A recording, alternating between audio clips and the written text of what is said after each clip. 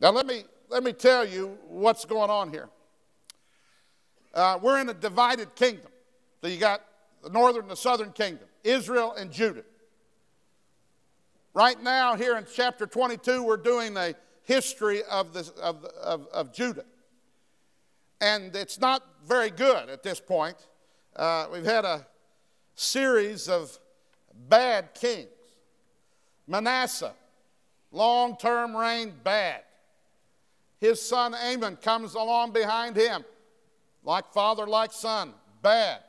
But good news as we come to chapter 22 of 2 Kings, young eight year old Josiah has taken the throne, and he's good. The Bible says that Josiah did that which was right in the sight of the Lord. And as we get to 2 Kings 22, uh, Josiah has been on the, uh, the throne, and now he's decided to have a renovation down at the church house. It's church cleanup day down at the church. Okay? So they put some money, they've got some money set aside. He sent Hilkiah down there, the high priest, and it's cleanup day at the church. That's where we're at. 2 Kings 22, and we're fixing to have a revival. And I believe that we'll see in these verses tonight, I believe there's about four things that happen that are going to have to happen this week if we're going to have a revival. I know we've got services scheduled, but how many know that we need to hear from heaven? Amen? And so, if that's going to happen, I believe the same thing that happened here will have to happen uh, this week. 2 Kings 22 and verse 8. It's church cleanup day. And Hilkiah the high priest said unto Shaphan the scribe, I have found the book of the law in the house of the Lord. Time out.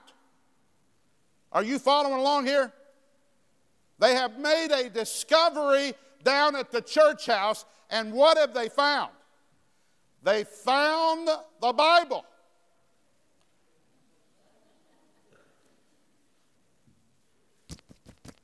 You getting this? They found the Bible. Reckon what they're doing down at the church house before they found the Bible.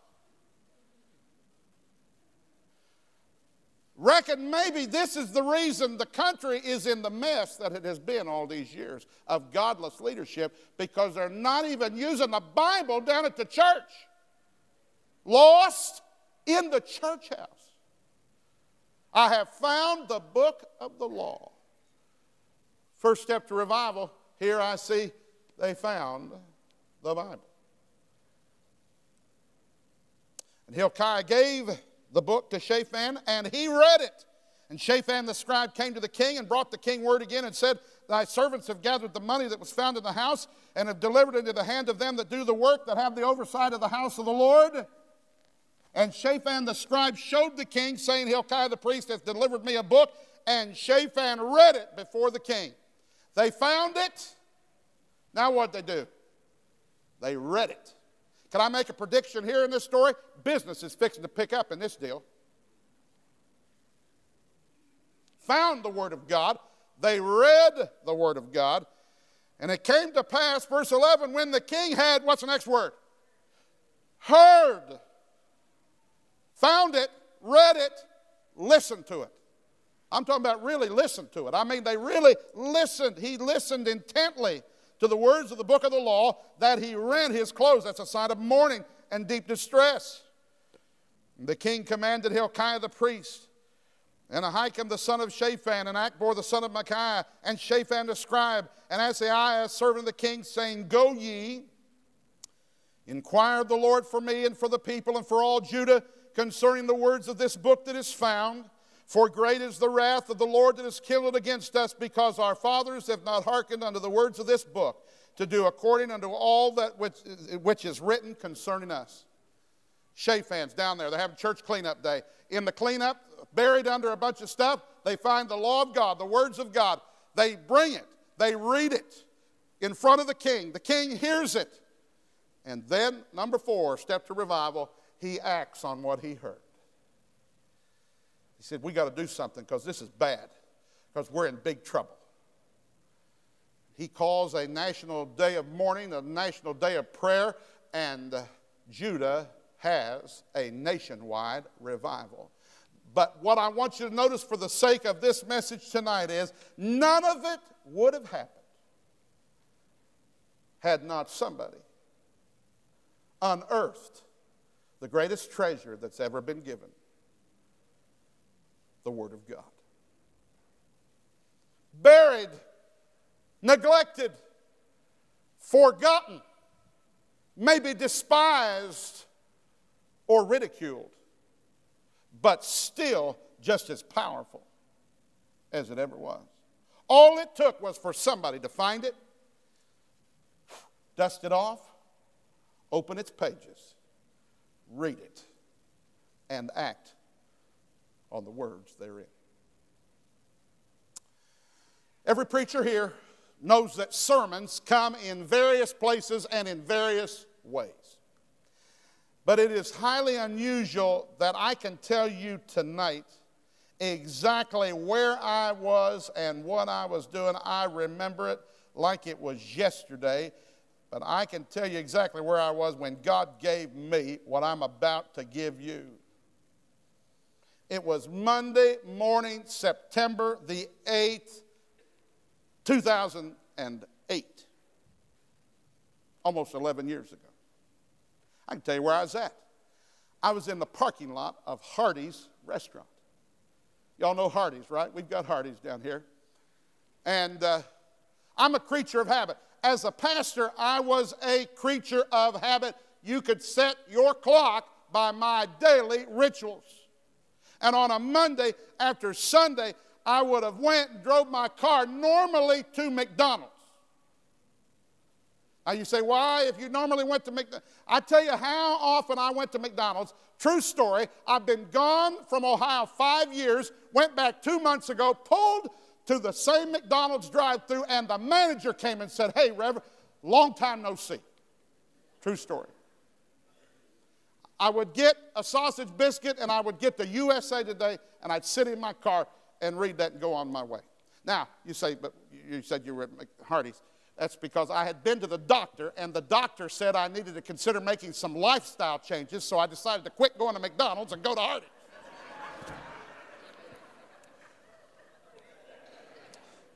True story.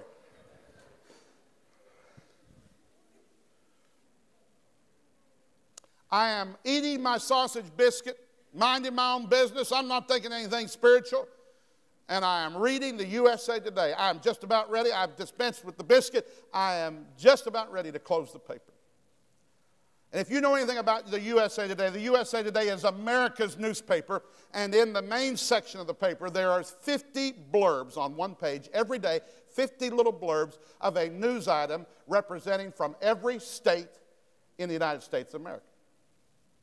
And I'm just, John, you're like this. I'm just getting ready to shut the paper, and my eye caught, my attention was caught, Charlestown, West Virginia. Not Charleston, the capital of West Virginia, but Charlestown, West Virginia. That was the date line. And uh, I said, let me, uh, let me look here and see what's going on back in West Virginia. And this is what I read USA Today, Monday, September 8th. Construction workers found a live 10 pound Confederate artillery round inside the wall of a home here. American Public University System, which recently bought the home, gave the round to the Jefferson County Museum, which plans to disarm it. Are you paying attention? Are you following? Said American Public Facilities Director Joseph Schlatke. Now, when I got, I was so fascinated with this, and I really got to studying this. When I got home, I saw, I found an article uh, later as I was studying for this and got onto this that came out then five days later.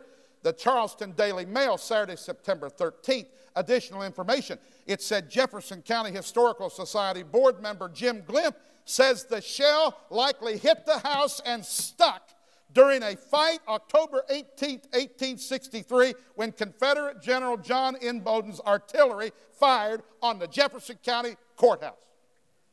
Ladies and gentlemen, what that means, what I have just read to you, is that 142 years after it had been fired, a live round, in other words, it could have exploded at any time in the wall of the house, was taken out and disarmed. I had several thoughts. I don't know what you're thinking. I thought to myself, how would you like to be some of the folks that had spent the night in that house? And how would you have slept the next night knowing and realizing that there was a cannonball in the wall of your house that could have exploded any time? But what amazed me was 142, Civil War ended 1865. It had been fired in 1863. At this time, 145 years had passed, and yet it still had the potential of going off at any time. This so fascinated me that I made it, I mean, I really got obsessed with the topic. Would it surprise you? It may not surprise some of you since you live in the South and there are battlefields here, but would it surprise you that is not an isolated incident? Would it surprise you to know that there are thousands of unexploded ordnances in the ground all around us? I'm talking about us down here, all across this country. If I were to ask you this question, who was the last casualty of the Civil War? Who would you say? Some people would say it was Abraham Lincoln because he was killed because of the war after the war had officially ended. Some would say it's Lieutenant Colonel Joshua Lawrence Chamberlain from Maine, who went on to become the governor of Maine, who was wounded at Petersburg but did not die from his injuries until 1914. But I'd like to show you tonight the last casualty of the Civil War. You say, how can that be the last casualty of the Civil War? That's a color picture. Ladies and gentlemen, meet Sam White. And as I went home and studied this, now please, I'm on the airplane. i promise you, I'm, I'm on the runway, but we're going to take off here in a minute. This is all going somewhere, all right? Sam White the Richmond Times Gazette, the headline of the paper in 2008 was The Last Casualty of the Civil War. Sam White was a Civil War collector. He loved to collect artifacts from the Civil War. One of the things he loved to collect was ordnance, cannonballs.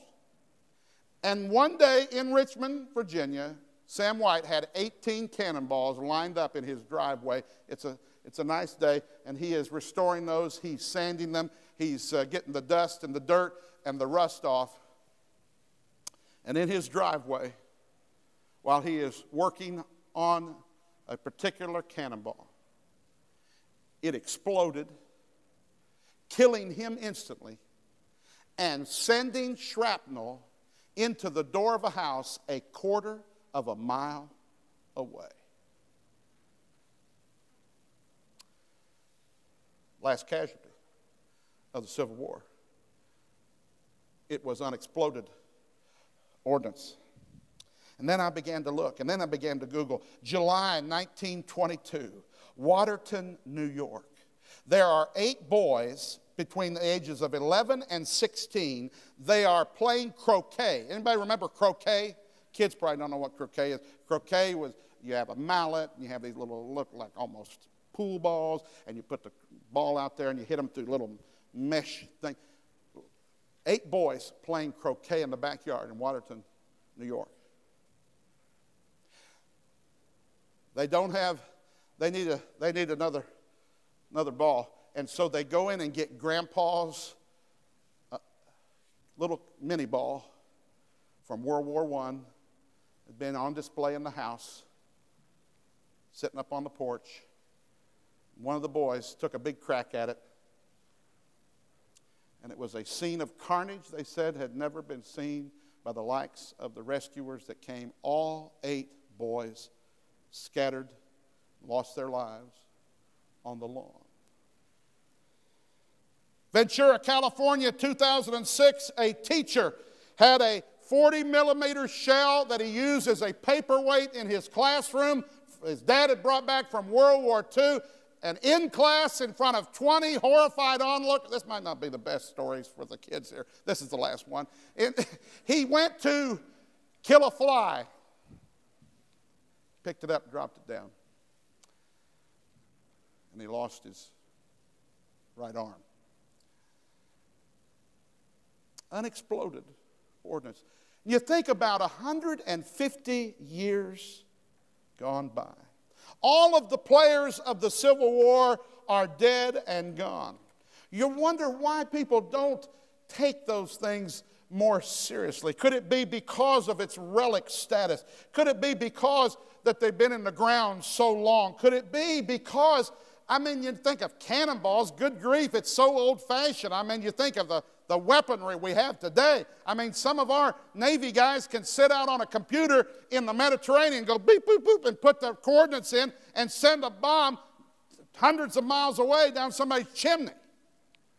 You think about an old cannonball, rusty, dirty. I still wasn't thinking anything spiritual but I folded my paper, put my biscuit wrapper in the trash, and I distinctly remember saying to myself, Well, just goes to show you, just because something's buried doesn't mean it's dead. Just because it's buried doesn't mean it's dead. And boy, that began to eat at me that day. And here's the th- and again, I still wasn't thinking spiritual. Here's the first thing that I thought. I thought that we live in a country that really is obsessed with youth. You know that? Do you know how many billions of dollars we spend trying to at least give the appearance that we're still young?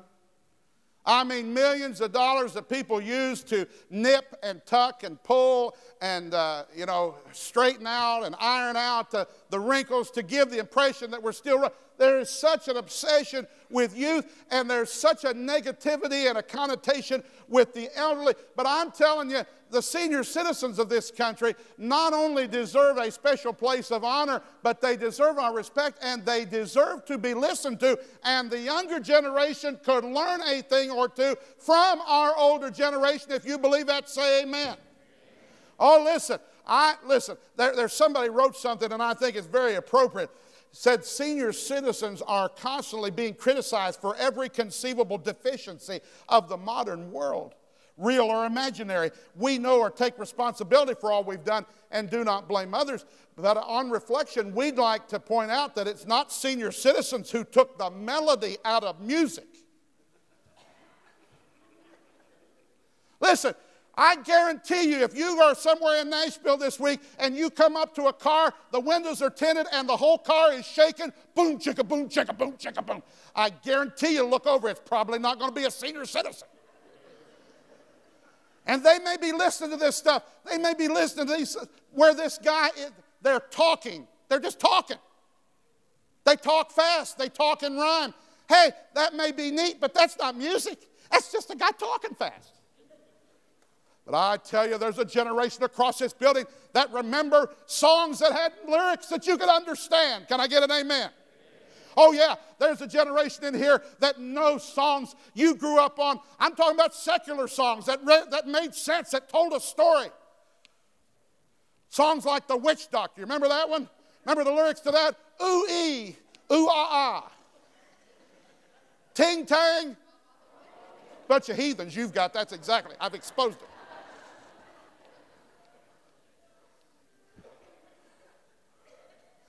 Well, the senior citizens took the pride out of appearance.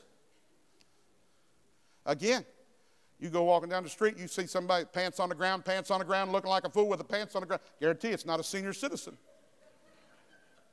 The courtesy out of driving, the romance out of love, the commitment out of marriage, the togetherness out of family, the learning out of education, God out of government and school. Thank God for our old generation. And I tell you, that attitude has, has creeped into the church. There is a danger in the church, and this is, really has nothing to do with anything, but let me just put this. There, is a, there are two dangers. There is one danger that a lot of our churches have. They're dying because they don't, uh, they don't try to reach young people at all. They don't have any young people. And the church literally is just, it's just in a matter of years, it's going to be gone because there's no outlook for the future. So that's one danger. And then the other danger is we're only going for young people and you, we're going to kick the senior citizens to the curb. And can I tell you, that is a danger, and that is wrong. And I believe there are going to be a lot of churches that are going to have a lot to answer for on the day of judgment. I'm talking about people um, that have paid the bills and taught the classes, and, and they're all they're looking for is a song every once in a while that they recognize. And I can take, listen, there is, I, I thought about this today. There is no church. It would be very tempting for this church to do that. Do you know why? Because you got a pastor that is so cool.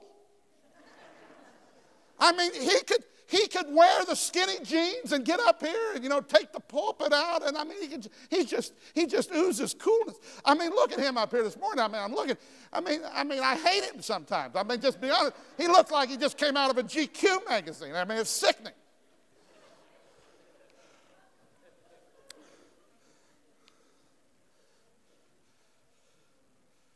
I'm telling you, somebody says, why don't you wear, why I don't wear skinny jeans? Because if I put skinny jeans on, they'd look like a blood pressure cuff that's gun constricted on something.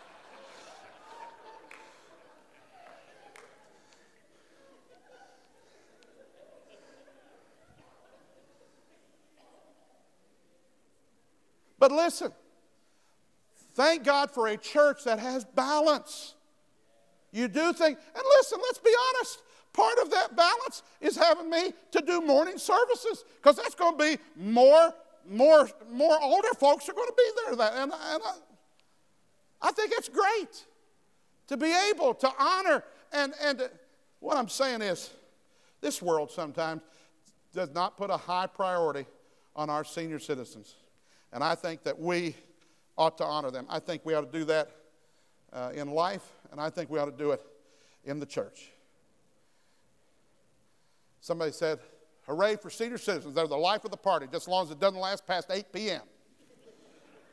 Somebody said, I am smiling because I can't hear anything you're saying, but praise the Lord for senior citizens. But I began to think spiritually.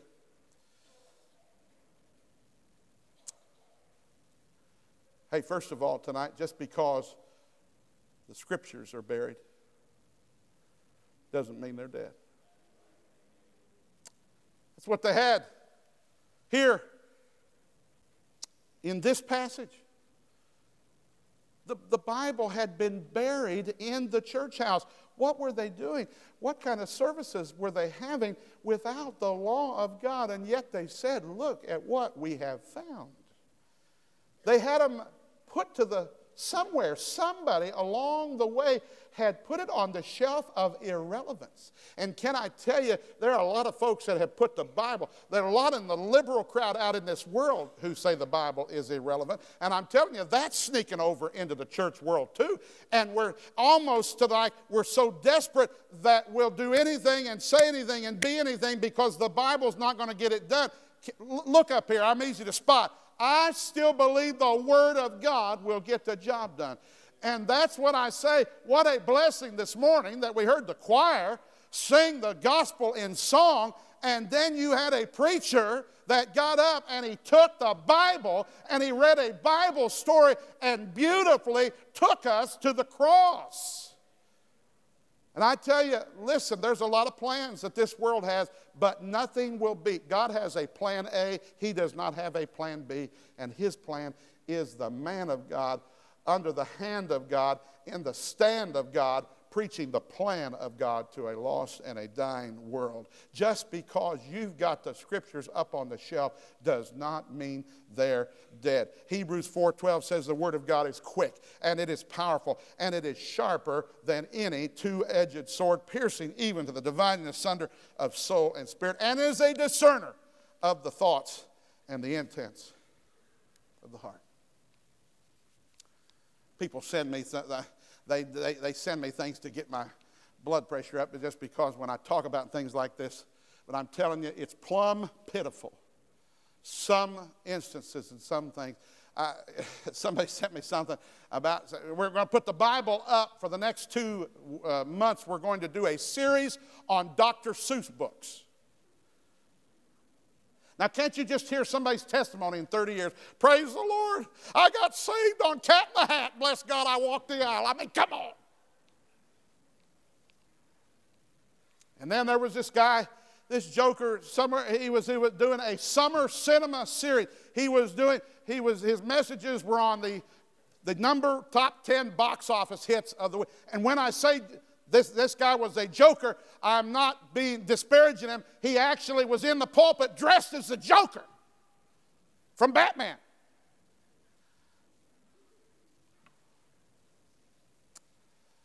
The word of God is quick, and it is powerful. I'm not ashamed, Romans 1:16, of the gospel of Christ, for it is the power of God unto salvation. And you know, you've heard that that word power in the Greek is the Greek word dunamis, where we get our word dynamite.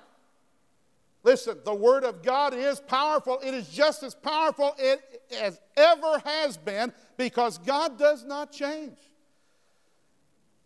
I'm telling you, when we take the gospel and we share the gospel, there is power in that and it is explosive.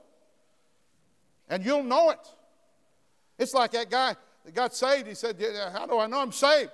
The old preacher told him, he said, it's just like a guy sitting in the chair. Somebody rolled something under it. He said, Is that a firecracker or a stick of dynamite? He said, Bless God, when it goes off, you'll be the first to know. The Word of God is powerful. Just because the Scriptures are buried doesn't mean they're dead. Thank God for churches and Bible believing Christians that believe in sticking with the Word of God. Hey, just because the spirit's buried doesn't mean he's dead. Notice I said he, and I said he with a capital H. You do realize it's not an it we're talking about. The Holy Spirit is the third person of the Godhead. He. Aren't you thankful for the Holy Spirit? His work. The Holy Spirit is a key ingredient in anything we do.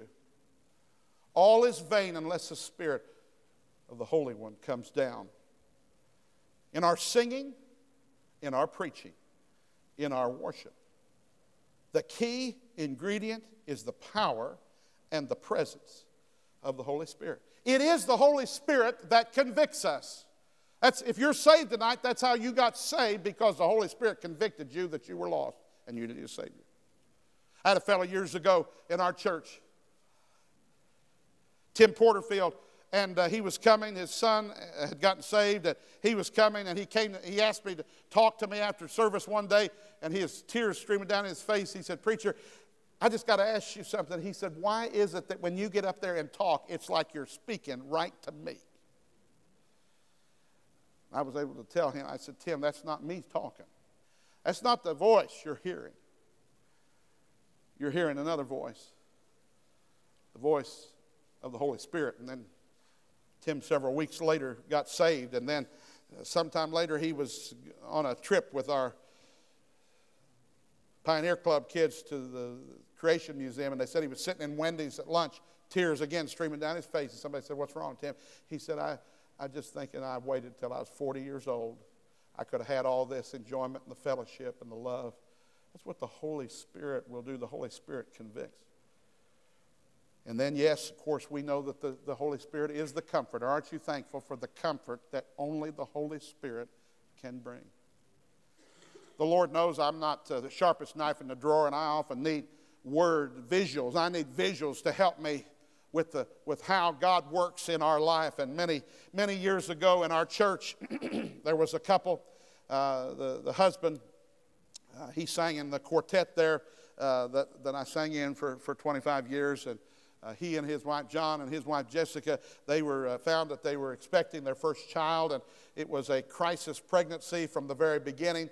And they had Jessica on bed rest from a very early time, but despite all of their best prevention and efforts, Jessica went into labor several months prematurely. I'll never forget the morning there at our little country, you know, uh, county seat there in the, the little hospital there. And they came out and gave the announcement that the baby had been born. Grace was born just uh, right at, uh, just under, I think, two pounds. And of course, there was a team already on site from the Akron Children's Hospital that was getting ready to. It was a very critical, it was a very touch and go uh, situation, and they they invite, said that I could go in and have a word of prayer quickly while they were getting everything ready. They were getting ready to transport uh, Gracie to the to Akron, and uh, of course it was it was a very sad and a touching sight because every parent wants to hug, uh, you know, hold their child, and and and and they wheeled. Uh, the, the, baby was in an incubator, and of course, Jessica, they're looking at the baby, but they can't touch the baby, and everything's wires and everything. And I'm trying to pray, and I kind of choked out a few words, and then I, they were busy and working quickly, and so I backed off into the corner and sat in the corner and watched as they continued to work. All of a sudden, as they're getting ready to wheel the baby out, I notice a nurse goes over and she has a package and she's at the, the bedside talking to Jessica. Well, I was nosy because I want to know what was going on here. and, and, she's unwrapping what just looks to me as a, as a look like a, a blanket or a comforter. And, she's talking and giving instructions to Jessica. So I'm listening. And the, the nurse said to her, said, this was one of the nurses from Children's Hospital, said, Now, Jessica, what this is, is a snoodle.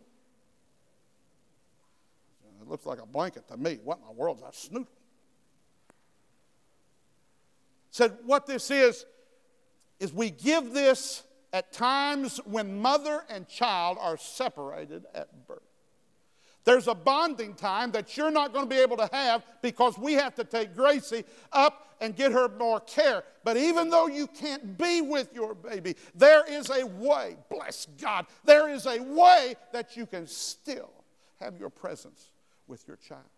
What we're going to do, we're going to ask you to take this blanket. We're going to ask you to put it underneath your gown and put it right up next to your skin for the next several hours during the day today so that your presence, that your scent can cover and just envelop this blanket. And then we're coming back tonight and we're going to get this snoodle and we're going to take it to Akron and we're going to put it in the incubator with Gracie. And so that even though you can't be there during these critical moments, your presence, you can still bond with your baby because your presence will be with her. And I'm sitting there and I'm in the corner rocking back and forth and I'm about ready to have a Baptist spell. I was thinking to myself, dear Lord, 2,000 years ago, Jesus in an upper room said, Boys, I'm fixing to go away, but I'm not going to leave you alone. Thank God he left the presence of God with us in the form of the precious Holy Spirit. I couldn't take it anymore. I came up there, I said to the nurse, Bless God, I've got my own snoodle. Thank God for the Holy Spirit and His presence.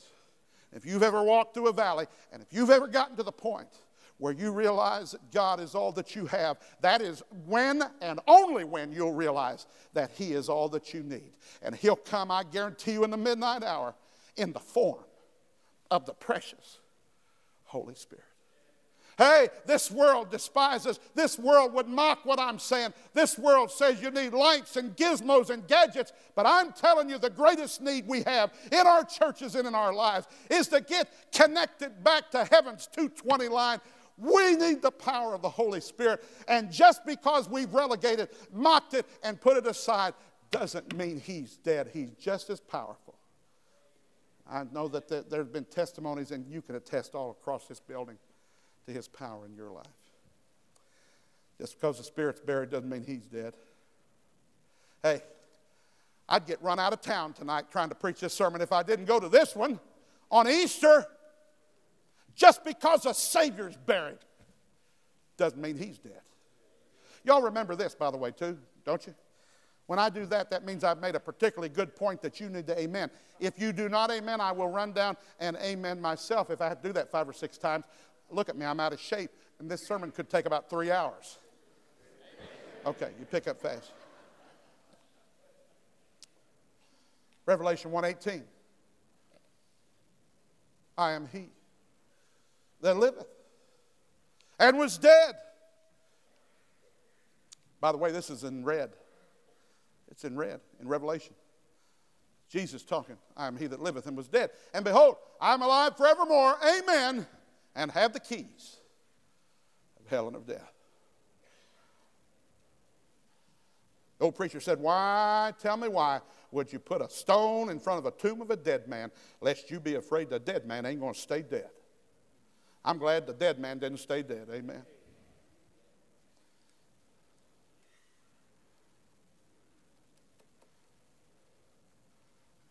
And that has great, great effect on us tonight.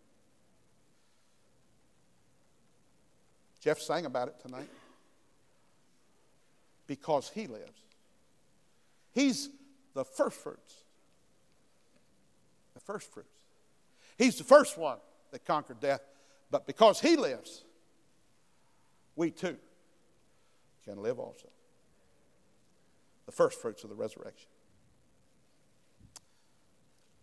1 Thessalonians 4 says, I would not have you to be ignorant, brethren, concerning them which are asleep, that ye sorrow not even as others which have no hope. For if we believe that Jesus died and rose again, even so them also which sleep in Jesus will God bring with him.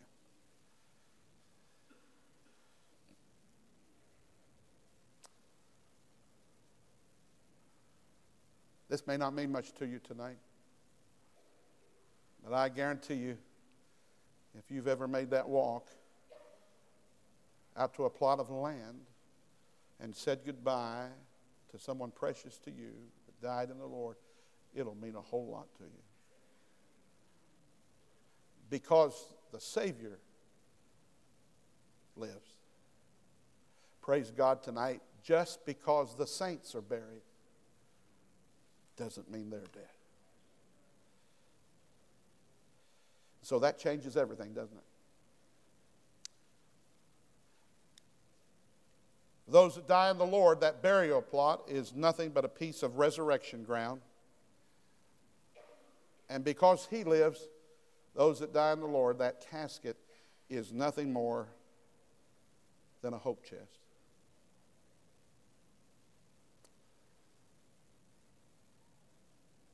And we are those that believe you believe this. I know you believe it because you're here on Easter Sunday night. Had every reason, could have stayed home. You're here. I know you believe it. I just wanted to come by at the beginning of this revival on this Easter night to tell you that we live in a world where Jesus doesn't mean much to this world. I'm thankful that I'm part of a crowd that lift our hands and say, Lord, you don't mean much to this world, but we want you to know you mean the world to us. Mocked, scorned, ridiculed, denied, questioned, criticized, and dismissed. But I'm telling you, I believe with all of my heart, it's just as real. The truth of what I have shared tonight is just as real as the day thousands of years ago that Hilkiah and Shaphan were standing in the temple looking at an old book.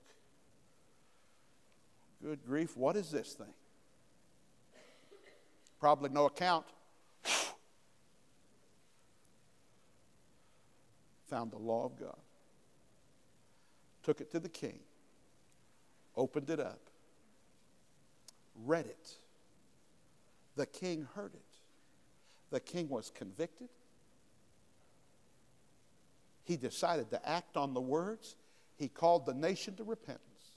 And revival broke out. And what Judah found was just because it's buried doesn't mean it's dead. And tonight we have a hope. If you're here and you're struggling, if you're going through a trial in your life, I'm thankful that I can introduce you and, and reintroduce you to the precious Holy Spirit. And I'm telling you that God did not save you to leave you alone. He will walk with you through your greatest trial. He's here tonight to comfort, console, and help you through whatever you're going through. And if you are here and you are struggling and you've said goodbye to a loved one, may we take heart and be encouraged for the saint of God, it's never goodbye. It's just, I'll see you on the other side. If I had hope in this life, I'd be of all men most miserable. Because I've checked, and it's not something we like to talk about at parties, but the mortality rate is one per person. None of us are getting out of here alive.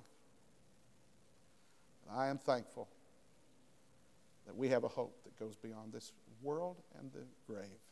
And if anything Easter reminds us of today is just because something's buried does not necessarily mean.